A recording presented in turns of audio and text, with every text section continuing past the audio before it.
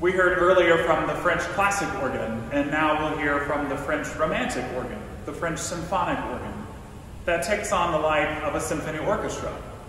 Much fuller sounds, beginning from the bottom up with low voices mixed with all of the in between voices. The sound is much fuller and broader, much like that of Germany during Bach's time. The sound had finally made it from Germany to France, and they wanted to be a part of it.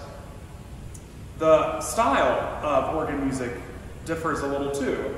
The articulation, as we heard earlier, was very delicate, very crisp, very clean, as you heard the in betweens from the left hand and the right hand, soloing out the trumpets and the clarinets and all the inner workings of it in between.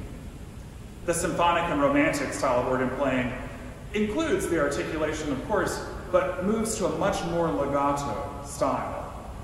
You can't hear measure for measure necessarily with articulation, but the sound just grows and grows and grows.